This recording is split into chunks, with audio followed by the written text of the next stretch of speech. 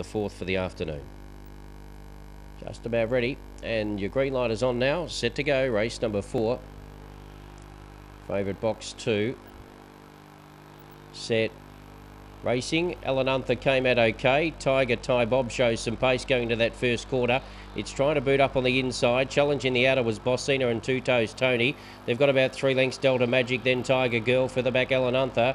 Then came Lightning Girl. Last of all was Yabba Dabba Doo. Round the home corner.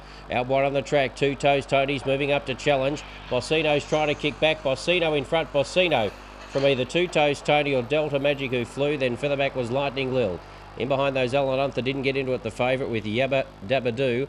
And back toward the tail, Tiger, Ty Bob and Tiger Girl. Two Tigers at the tail, and it's 23 and 17.